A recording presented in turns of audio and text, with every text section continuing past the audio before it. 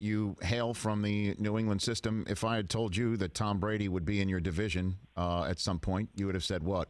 Because he is now, as I'm sure you're aware. I would have said I would use a word that you probably appreciate: inscrutable. It is. It really is uh, unimaginable that he is in this division. I thought he was heading west, and uh, I know that you know that he's down the street is incredible for this division. Of course, I still think he's the the best to play the game, and uh, it, you know, hopefully, uh, he continues to to, to focus on uh, other things too.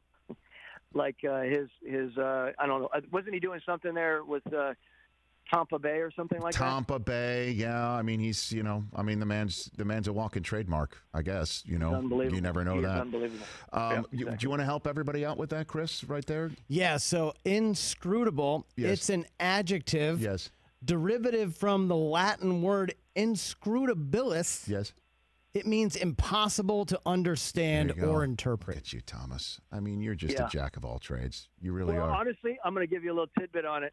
I use that word because it's much easier to to articulate than unfathomable. Because sometimes we we we uh, we mess around with our our tongue twisting there, right? So. Hey, you watched all the way to the end. Thanks for that. Watch more right here